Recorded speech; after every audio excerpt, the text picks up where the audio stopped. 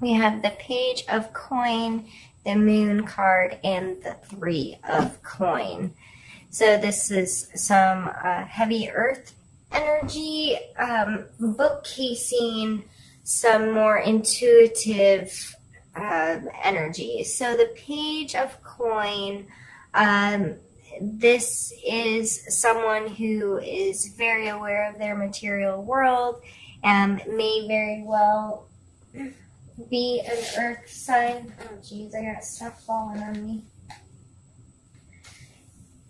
And our earth signs are Capricorn, Taurus, and you, Virgo. So this could be you, or this could be someone else. Um, is energy that's in your space. But regardless, this is uh, maybe someone who's not super financially mature, willing to take risks, maybe a little um, rash in their decision making when it um, has to do with their physical space.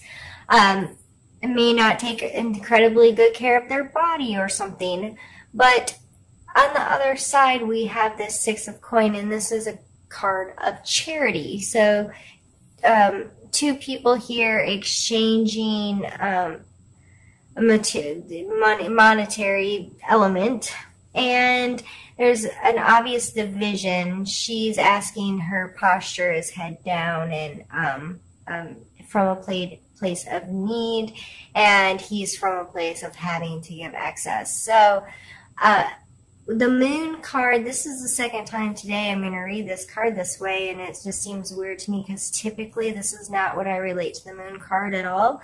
But sometimes the moon card can talk about things that are done at night when nobody's watching, um, kind of some, I don't want to say sneaky, but maybe a little mysterious behavior or something that's just not out in plain daylight, right? So something that someone's keeping secretive or to themselves a little bit, um, that's a very personal kind of thing. So there may be um, a reason why you might be encompassing this more immature um, energy and giving stuff away, like giving to, um, how can I say this? Like I feel here that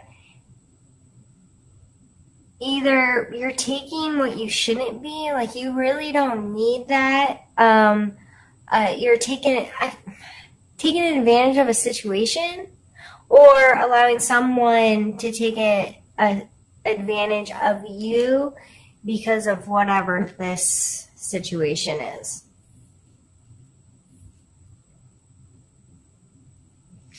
I feel like you're aware of it. Like it's not a secret. It's a secret. How can I say that? It's not a secret to you, I don't think. Like, I think you are aware of this. This is a card of intuition as well. And um, transforming and how things look different um, from the perspective can be different. Um, like this light from our moon is still the same daylight we have. It's just bounced off the moon and onto us. It's the same light. You know what I mean? It's just getting here in a different way.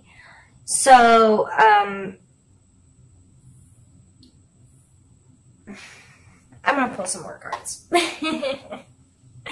Maybe it'll clear up what side of the fence you're on.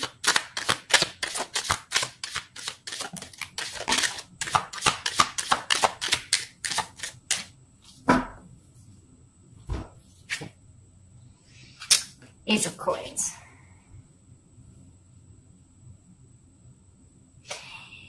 Maybe it's a new project that you're willing to take a risk on. Willing to be like, you know what, I'm going to see if this can really create something bigger and better. Because the Ace of Coins is um, like a spark of potential in our physical world. So this is something real, like brand new. It's an opportunity for you to um, grow something into something bigger. Um, it's like a seed that you're going to plant and you're going to nurture and you're going to take care of, and you can, you know, if you choose. And this could grow into something special for you, a new, um, a new way to make money or a new way to um, take care of your physical space.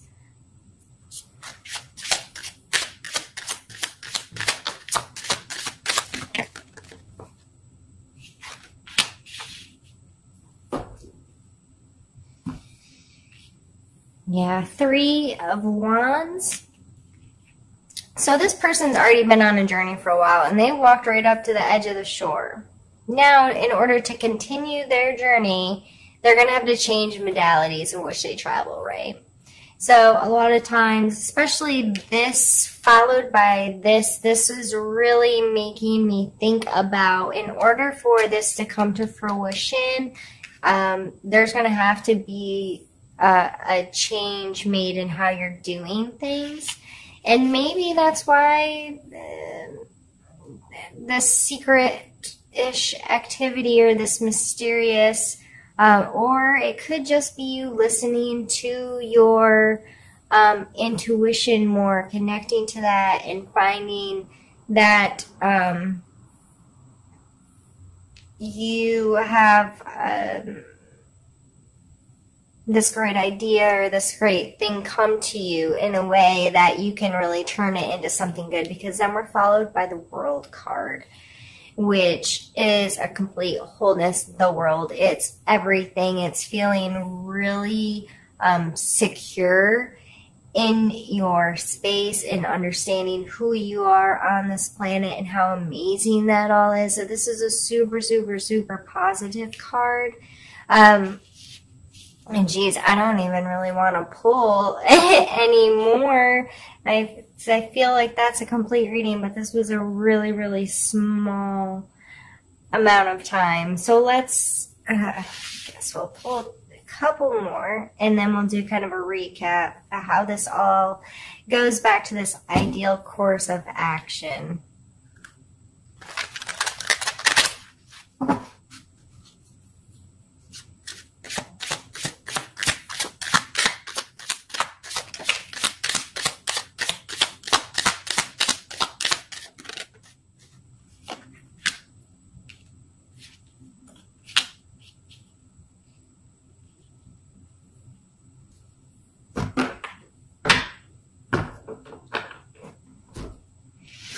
while I was shuffling, and this might be seem way outside the box, but I had this vision of of this Virgo who's typically like you all um, tend to have your stuff together, organized, have a plan, um, pretty thoughtful in how you're going to do things and approach things and and so forth. I see this person like almost being like, you know what, I'm going to get um, I just saw like this person having this moment of reevaluating what material worth meant to them and kind of being like, you know what, maybe I don't want, maybe this isn't the center of my universe, maybe this isn't what I want.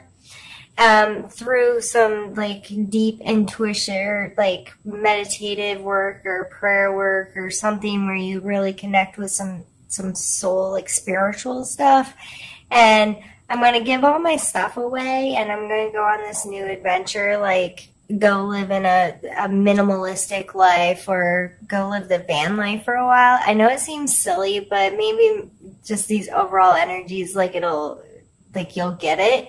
Um so it was, it was kind of like just, you know, this uptight Virgo deciding to sell all his stuff and going to live on a sail around the world or something and, and seeing how amazing, you know, it is to be a human. I don't think, I'm not suggesting that you do that. I'm saying these are the overall, like, energies I'm going to feel of this. I, I just feel like you're going to make this change and it may seem really crazy to some people, but you have an opportunity in your physical space to really make some um, changes, have an opportunity to grow something and go in a different direction and create something that you feel really, really good about. And then these last two cards I pull the Queen of Swords and the Eight of Cups. So the Queen of Swords, like she's a bad bee, you know what I mean? She's super logical and analytical and she um this is air so libra aquarius gemini energy pretty tough cookie um, really blunt, able to um, say what she means and mean what she says, and uh, be just and try to be fair.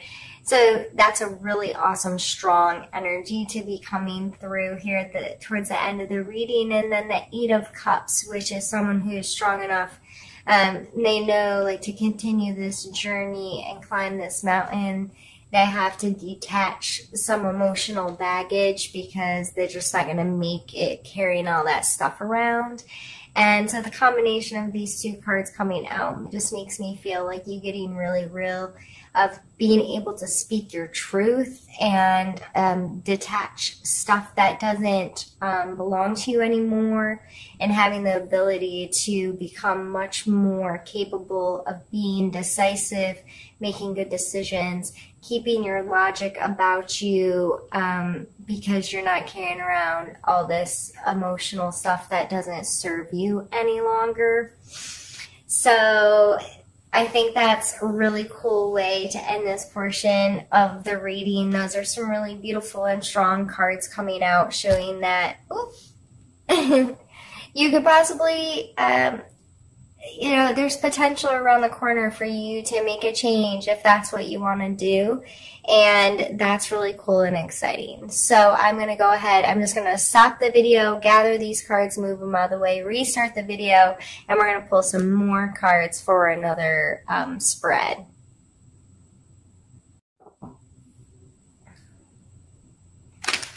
All right, Virgo.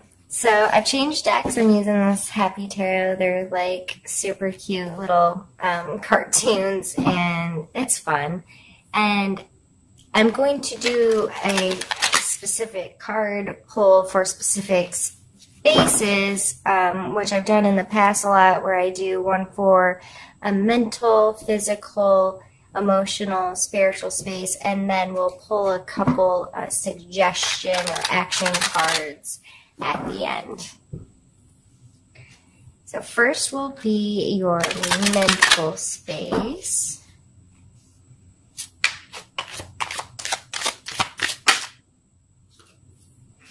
And we have the five of wands. So you may feel a little um, like you're having to put a lot of effort in here. You're efforting. you're, um, it might be uh, some conflict, some uh, disagreements, uh, but it's probably necessary to work out the kinks. So just remember if a conflict comes your way, people are disagreeing, you feel like people are fighting over stuff, it may be extremely necessary to work out some um, better ways to work together or to deal with solution or find solutions to your problems. So look at it as a as, try to look at it as a positive experience and approach it as such. And it, it may very well shock you how much easier it is to get through that when your perspective of it is this is needed right now, um, especially mentally, or you could just kind of be feeling a little beat up mentally, taking on um, this different perspective and maybe uh, considering the possibility of making some really big changes in your life. Uh, it might have you a little stressed out or beat down. Self care may become really important for you. So let's pull a card for your physical space and see what comes up.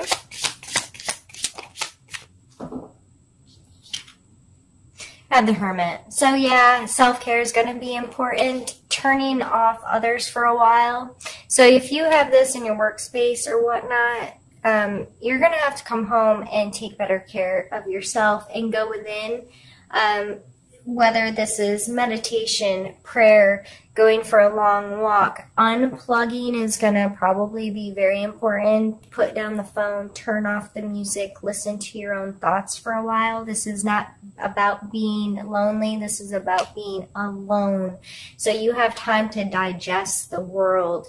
You have time to um, align your feelings and your thoughts and your all this stuff, soak it in rumble it around and form your own opinion on things and um, get adjusted to how life makes you feel sometimes and what you can really do with it. Going back to the moon card, um, these cards go very well. I always think of the moon like inside of here, like he's he's pulled the moon down and he knows the secrets, and he's carrying it very carefully and and this walk he's on gives him his time to connect with that kind of energy and um, you know be within himself so he can hear his own conscience and his own spirit and and learn from that. So that's a really beautiful card to come out. So don't feel bad if you're spending time alone in the month. Make good use of it. Put it use it to the positive. Meditate, pray, do something that's good for your body, unplug a little bit, and um, see what your your inner self has to say about things. You know what I mean? Give it time, give it the respect it it deserves. Let's pull a card for your emotional space. Ooh. That was just me not able to shuffle. So let's try it again.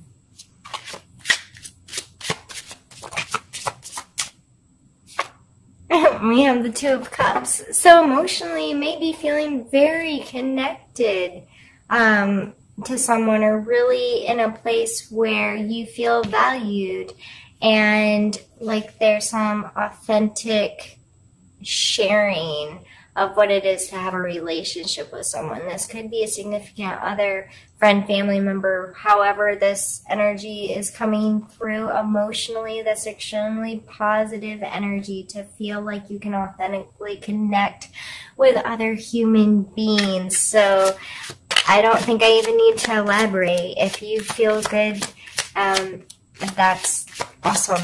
I'm glad that emotionally you're in a space where you have someone to share with. And if you don't right now, um, I'm sure you do actually. I mean, there's always someone you can turn to and, and show those deeper parts of yourself that still love you and don't judge you and and um, accept who you are.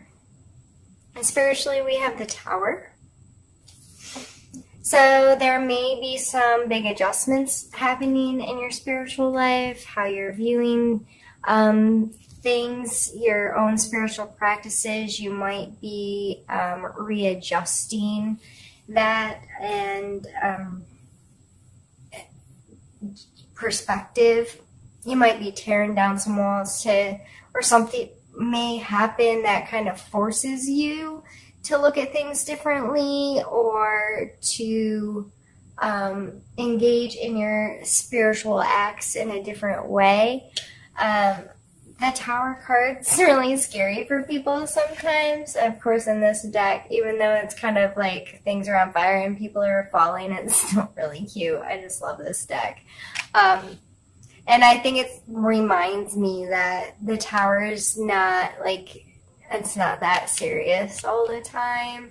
Like sometimes it's intense and sometimes it's just little adjustments that like, okay, I need to approach this from a different way. So we're going to tear all this apart, start, start at the foundation and, and, um, rebuild it the way that we want to or need to, that kind of thing. So let's move on to our two suggestion cards. So what's you know the the leaving advice? And we have the star card which is funny. And we have the eight of swords. So if you um, aren't super familiar with tarot This is a tower. There's a number system. Each card has its own numbers, of course. In the major arcana, they go from one or zero to twenty-two. So the tower is, as you can see here, sixteen, and the star is seventeen. So my how I've always associated these cards is after something has crumbled and things have been taken all the way down, if you're rebuilding a house and you have stripped it to its core, the star card then following that is that moment when all of that is oh, like you have become super you're okay with the destruction you're okay with whatever it is that you've had that's fallen down or torn apart and you are so secure and feeling in such a place feeling in a place that you have um, that you're the creator of your space of your reality and you have some semblance of control of how you're gonna put this um, your tower back together the way you want it to how it's gonna better serve your life so she's, um, I always see her like she pour, she's pouring water into the lake and onto land, and um, so water energy, of course, has a lot to do with her, and um, as well as the celestial star kind of thing. Um, we're all made of stardust, right? and she is our, that beginning. And this is followed by the Eight of Swords. So, uh, taking that as a suggestion, well, the star card, I think the second suggestion is just get through the stuff and appreciate how freaking awesome you are to be a human on this planet made out of stardust.